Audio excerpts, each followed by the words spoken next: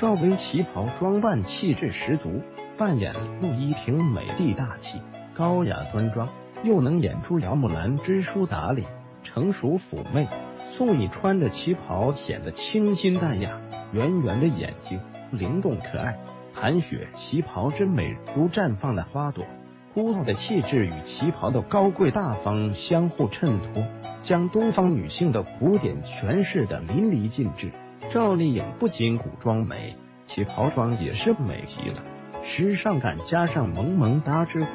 凸显东方女人的骨感美。注：奇闻解密原创文章，未经允许不得转载，图片来源互联网，版权归属作者。